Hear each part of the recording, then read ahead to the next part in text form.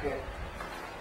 So, um, you know, just uh, if if I ever go somewhere and you don't want to talk about it, that's cool. I was to say, I no comment. Yeah. And um, sometimes I might ask you to, you know, I might go back to a question if I felt that, you know. Okay. Yeah. So, um, I guess I'm gonna first start talking to you about um, uh, steroids. Okay. Um, and uh, like how they're done and things like that. Okay. Okay. So when did you start taking steroids? I started taking steroids uh, 19, was it 94?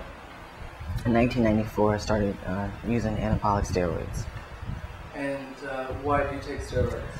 Uh, bodybuilding, um, competing wise. Um, you have to tell, Okay. me, tell me why you take them. Okay, I um take steroids uh, to compete. Um, I use them only for competition time, uh, maybe ten weeks before a show, and um, that's it. I don't use uh, steroids off season or anything like that. And um, why are you open about your steroid use?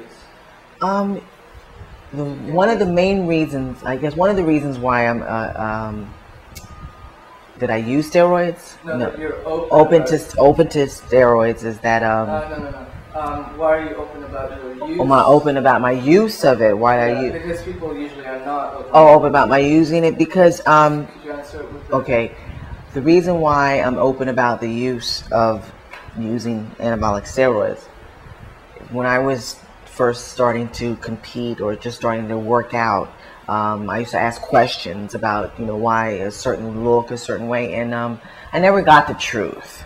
Put it that way, and um, I felt that after I found out the truth, um, I said to myself that I wouldn't lie to anybody. Anybody asking me a question about um, how I get a certain way and why about bodybuilding, then I just talk about steroids because I mean people lied to me about it, and I just want to be truthful about it because there's no shame in what I do, and that's what I do. It's my business, really.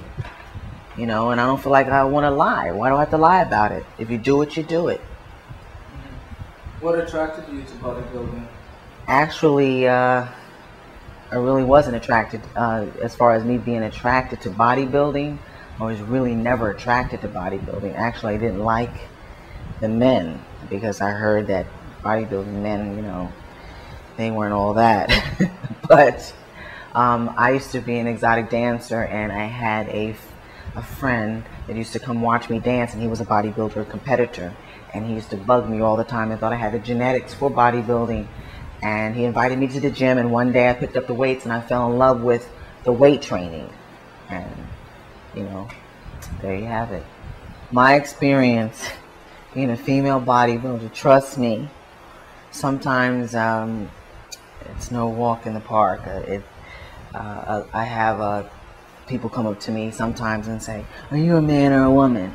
And I come on. I mean, I have earrings. I know men nowadays. There's maybe they think I'm a transvestite. I don't know, but I, I think it's pretty rude anyway to ask someone whether or not they're a man or a woman. If, if even if I saw a, a transvestite walking down the street, I'm not going to go up to the transvestite and say, "Are you a transvestite?"